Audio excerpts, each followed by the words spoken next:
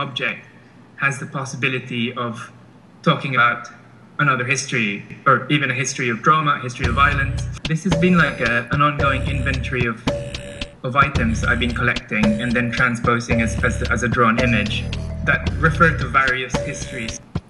And that's why you can see when you actually look at the objects closer that the, beneath that sort of domestic quality, there's that sort of pattern out of like, I don't know, decay of, of things being exhumed.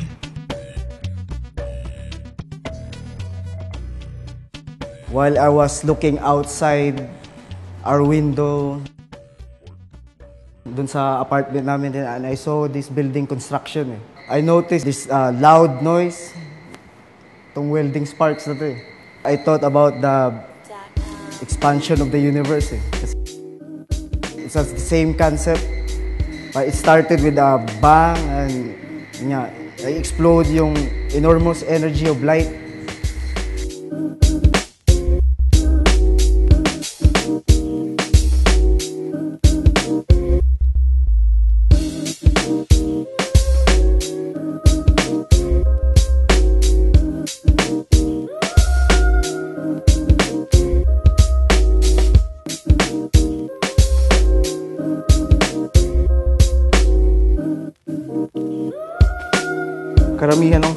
photos na na-take ko yung mga abandoned abandoned places. Subconsciously na kinunan ko lang dahil maganda.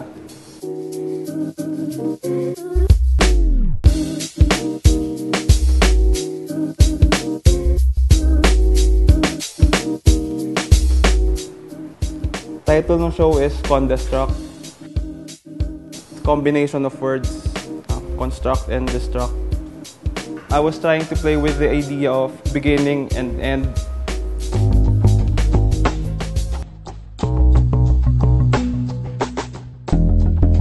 An art project that is devised to understand my life, understand and organize my life. It is like uh, researching life by living it. I'm framing it as my life as one big art project, seeing the larger picture and knowing where I am in the context of this larger community.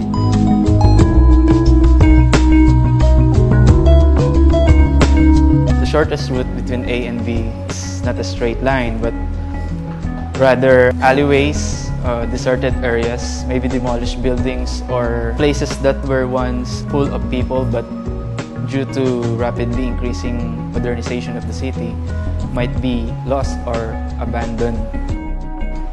You see different routes or roads every time you commute. You would see these places that to me are beautiful. Whether I create a jewelry piece or a sculpture or a lamp, my source of inspiration is always nature in general. I'm inspired by the patterns that you can find in nature, the laws of nature, the mysteries of nature. And for this show, I focus on the term sacred geometry because I found it very poetic and inspiring.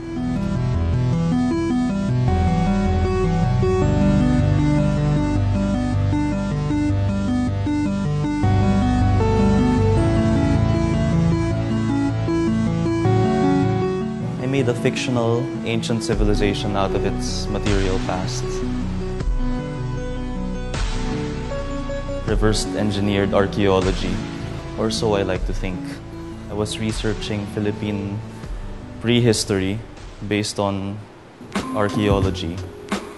And then I wanted to create my own civilization out of the objects they have left behind.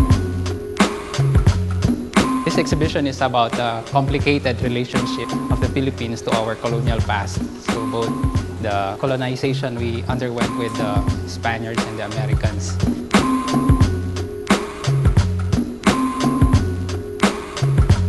Sometimes try to start by collecting materials, literally gathering ideas also and existing objects and even videos.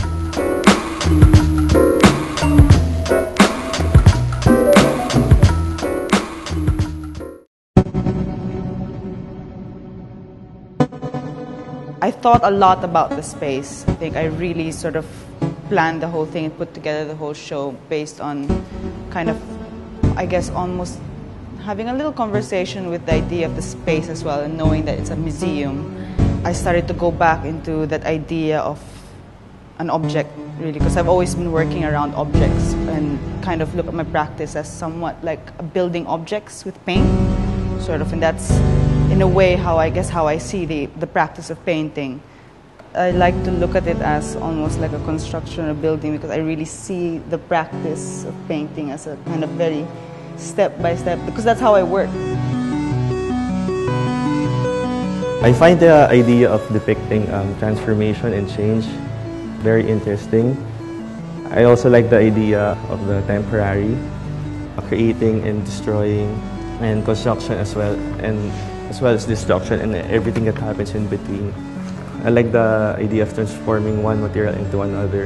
In this case, wood into metal, a flat surface into a three-dimensional one, something uh, organic into something mechanical, and also a gallery space into a construction site. What are places that really made you to who you are, you know, growing up, etc.? Um, I went back to those specific locations and then any of the locals that I'd run into, which would sometimes happen to be the relatives, would, would just be you know, doing their daily routine or whatever. Um, I'd ask them to wear outfits that the designers created, and yeah, and then I took a picture of them.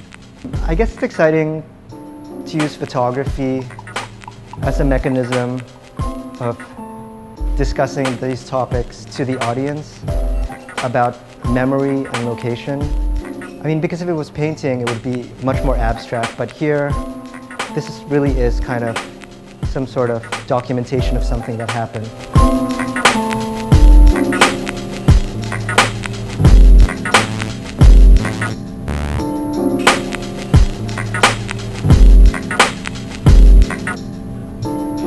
My work revolves around sites of procreation and pollution, like domesticity in the ghetto, places like the slums.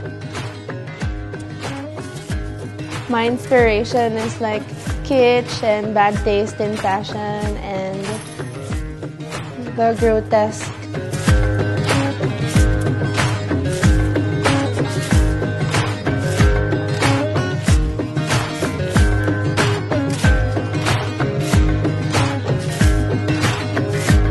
How religion is used as a political force is what I sense I see in common here. But my unease with how the modern nation state aims to put itself in place of God is something I read into the logical extreme of movements like the Lapiang Malaya, which integrate folk Christianity into a nationalism as religion framework. On the other hand, I am aware that purely secular motives may have guided the murder of Bustamante more than anything else. Religion was only In the bigger picture, the question that begs to be asked is where does retroactive thinking posit a progressive elsewhere for contemporary Filipino art? Or does it just become armchair nostalgia or nostalgic kitsch, or even sentimental kitsch?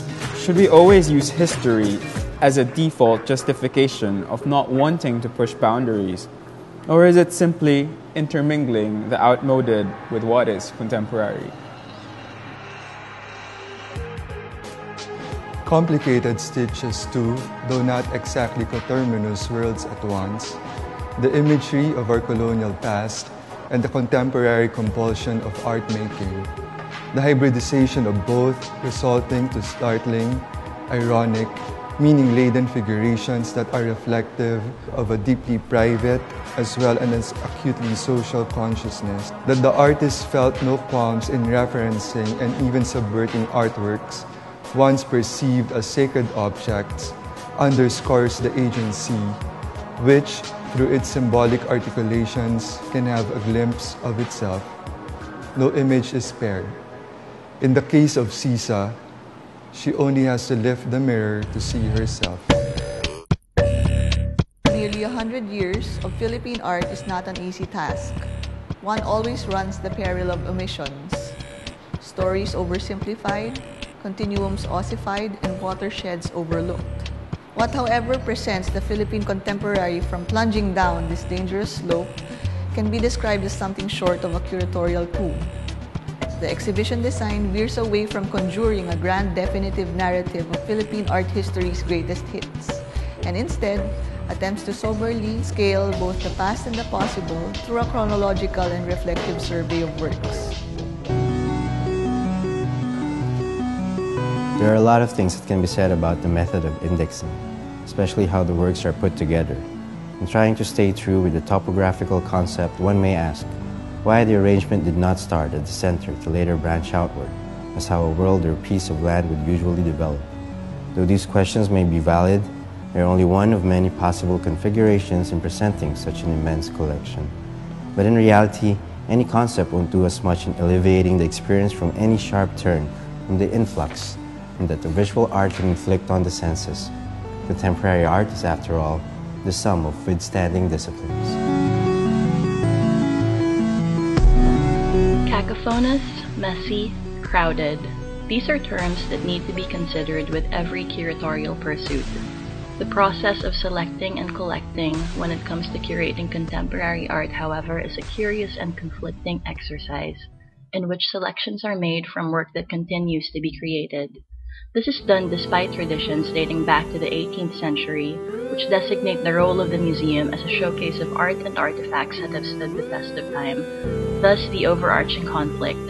How can an institution traditionally devoted to displaying, narrating, and preserving of what was, or what has been, tell the story of what is and what can, or what should be? Contemporary art, once collected, must not only contain descriptive accounts of the past, but must bear normative prescriptions for the future.